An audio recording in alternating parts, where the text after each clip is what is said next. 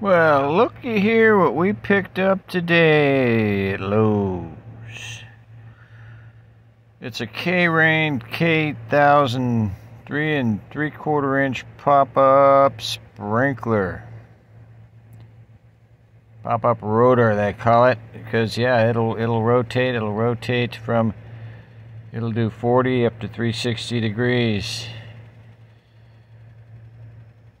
Okay, so two-year warranty, great. So, look, we we have about 20 of these K-Rain sprinklers operating out here. We love them. They're looking very similar. They've got a 40-foot radius by the advertised specs, and they're pretty good to that. But this one caught our eye here today because for just 10 bucks, I mean, you get a sprinkler that has not only 40, but it goes up to 48. 20 to 48 feet. You think this is going to give us even a longer pattern than the other K-Rains that we have out here?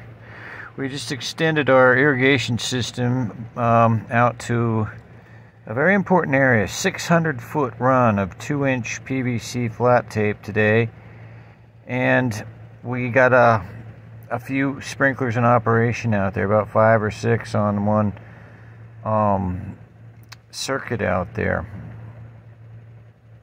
So we're going to experiment with these now and see if they do get a little bit of a bigger radius and I might get some more of these. We just picked up, uh, what was it, two or three of them today.